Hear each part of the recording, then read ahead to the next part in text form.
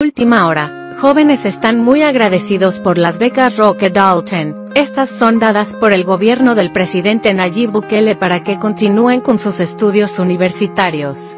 Esto se ha hecho ver en redes sociales donde los jóvenes se han mostrado agradecidos por las becas.